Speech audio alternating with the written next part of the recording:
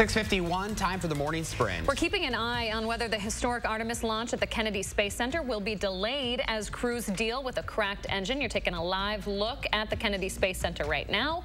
But first, let's get to our local headlines. Four people are recovering after an overnight shooting in the village of Clinton Sunday morning. This is in Rock County. Sheriff's deputies there say it happened shortly after 1230 on East Little Lane.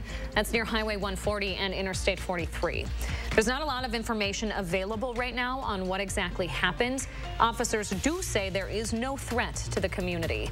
All four people were taken to the hospital. They're expected to survive. The shooting is under investigation. A prison supervisor at the Racine prison has been arrested accused of having repeated sexual encounters with an inmate in her office. The sheriff's office first received allegations that a 37-year-old Racine Correctional Institution supervisor was having that inappropriate relationship with a prisoner.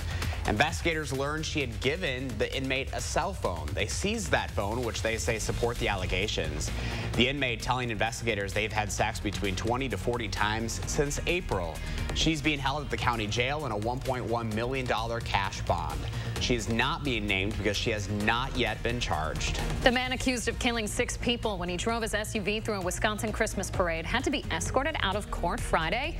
Take a look. It was all caught on camera. The commotion came shortly after Darrell Brooks fell asleep in the courtroom. He had to be woken up by his lawyers. You can see him exchanging words right here. The judge denied a motion as well to dismiss information obtained when Brooks was interrogated the day after his arrest. He's set to be tried on those homicide charges starting in October. The Sparta community is in mourning this morning after a teenager was killed in a car crash. Police say a 16-year-old exited a road near the intersection of County Highway BC and Fairway Road around 9.30 Thursday night.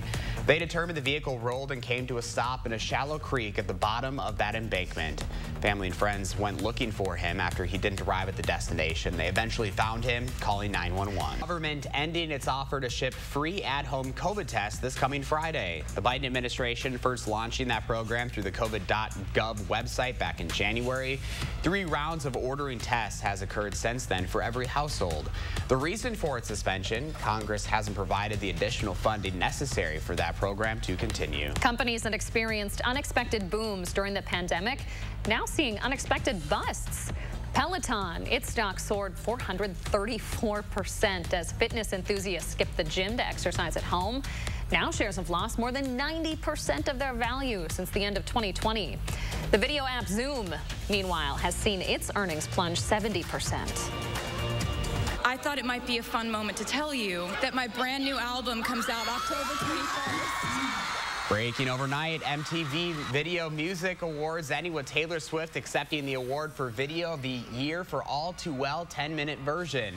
In her acceptance speech, she also announced her 10th studio album.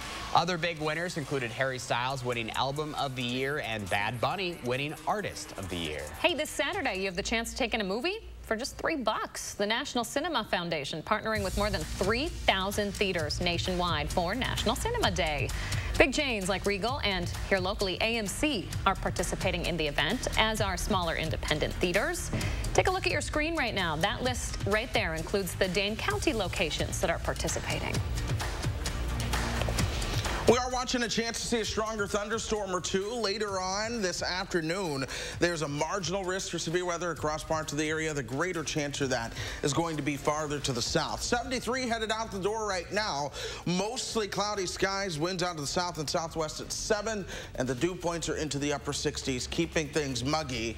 We'll see a chance for a shower or thunderstorm this morning, along with another chance in the afternoon.